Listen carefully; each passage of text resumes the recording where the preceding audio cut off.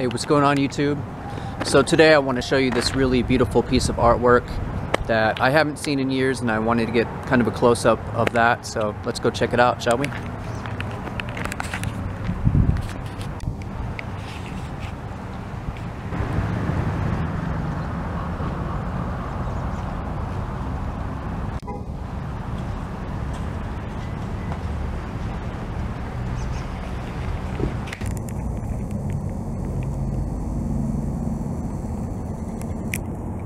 January 17th, 2020, standing in front of the world's largest totem pole at a height of uh, 160 feet, made entirely of redwood, aged 500 years.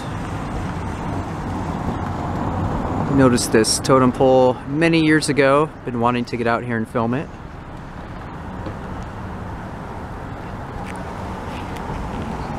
Let's zoom in, get some more on the detail here.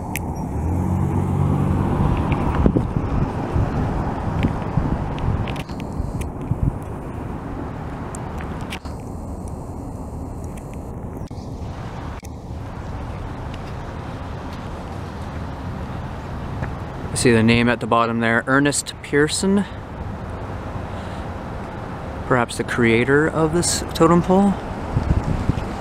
I don't see a year though. So if anybody knows, let me know in the comment section. Beautiful woodwork and color. What a monumental effort. The ultimate piece of artwork. Gorgeous.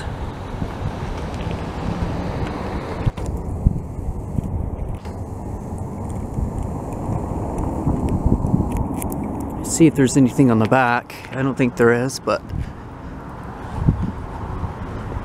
yeah, it doesn't appear to be. I'm gonna uh, step back and get a better look in just a moment here.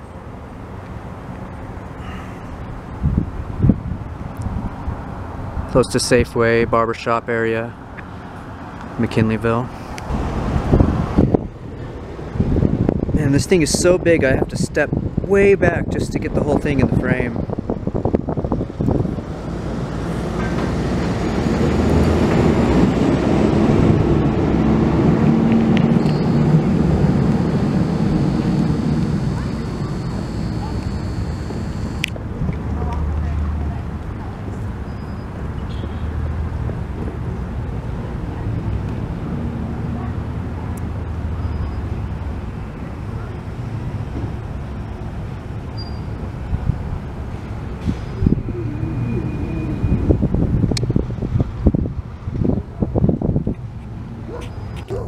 Alright, that's it for now, guys. Thanks for joining me.